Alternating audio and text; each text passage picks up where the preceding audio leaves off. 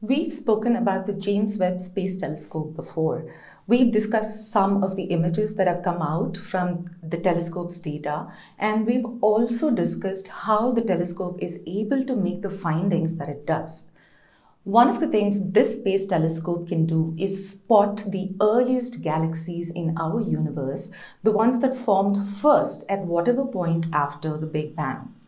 And the telescope has now discovered six such galaxies which seemingly shouldn't exist. Scientists think that galaxies began forming about a billion years after the Big Bang, which occurred 13.8 billion years ago. But when scientists started looking at data from early galaxies, they discovered that just 13.1 billion years ago, there were giant galaxies with 100 billion stars in them. This is just impossible. That is, in just 700 million years after the Big Bang, there was a galaxy with 100 billion stars. At that point in time, there should have just been tiny baby galaxies with a handful of stars. And yet, it seems like that is really not how the universe began. These massive early galaxies are thought to be a physical impossibility, and yet they existed and they're called galaxy breakers. And as expected they are appending our entire understanding of how early objects formed in our universe especially early galaxies. I'm sandhya ramesh and this is pure science. To understand the significance of this finding and why it is breaking so many scientists' minds, we first need to understand how the universe formed. After the Big Bang occurred, within just one second, the universe started to cool and expand. In just the first second, a bazillion things happened, which we're not going into right now. About 20 minutes after the Big Bang occurred, the universe would have cooled drastically and there would just have been a lot of hot, opaque plasma. Then, about 18,000 years later, neutral hydrogen and helium started forming. This goes on until 370,000 years after the Big Bang. All the photons that were buzzing around at this period is what we detect today as the cosmic microwave background or the grains in old TVs. Then came the Dark Ages, which is 370,000 years to 1 billion years after the Big Bang. At this time, there were no sources of light in the universe. At 370,000 years, the universe was transparent, but hydrogen had just started collapsing, forming the very first stars. Suddenly, there was dim light, pale and here and there in places.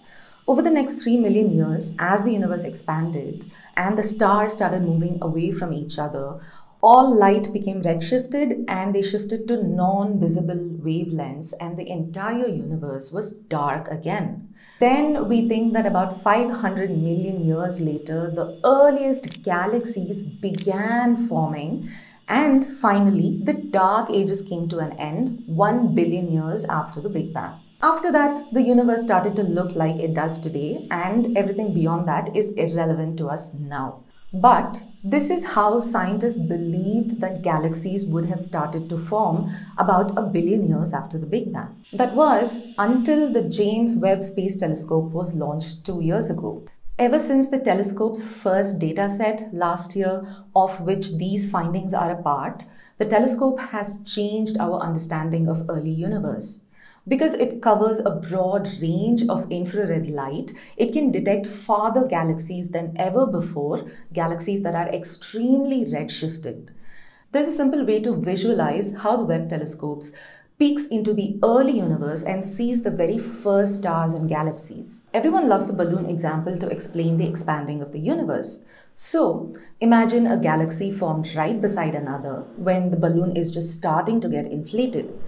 As the balloon expands, the distance between these two galaxies grows and grows faster and faster.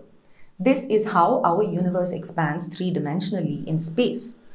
But in our universe, the light emitted by these early galaxies is traveling towards us, and we are moving further away because of expansion. By the time this light reaches us, the source galaxy would have moved away and evolved or would have matured and stopped evolving. But what we are seeing is the light from when this galaxy was very close to us. So effectively, we are looking at what this galaxy would have looked like 700 million years after the Big Bang.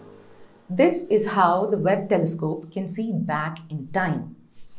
Now to the findings.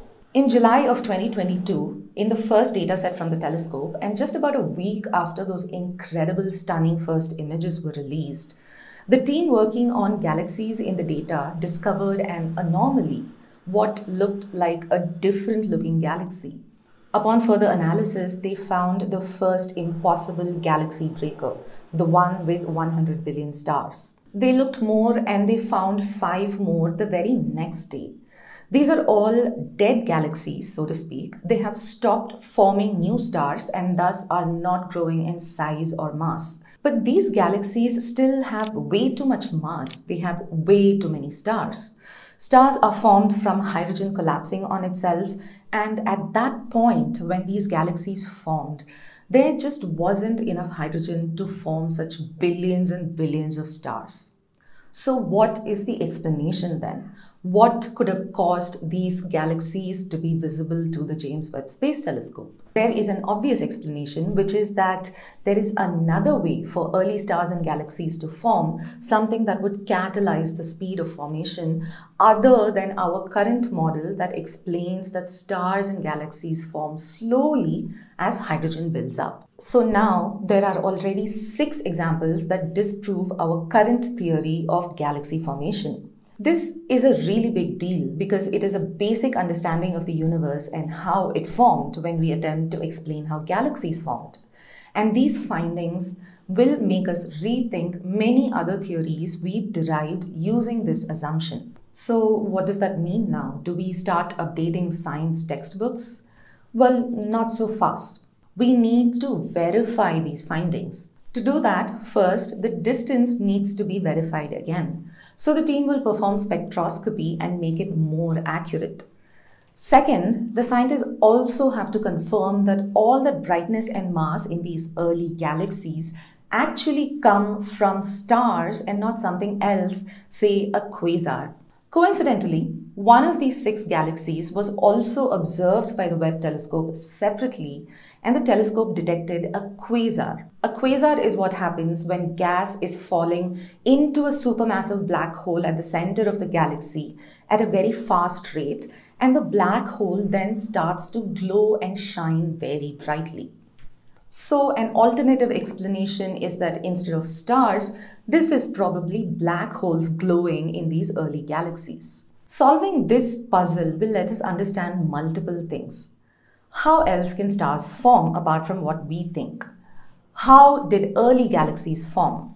Whether galaxies can shine bright just from giant quasars, and finally, whether something other than stars was also emitting light in the early universe. Answers to these will probably transform or at the very least drastically alter what we think we understand about the early universe and by extension how we got here.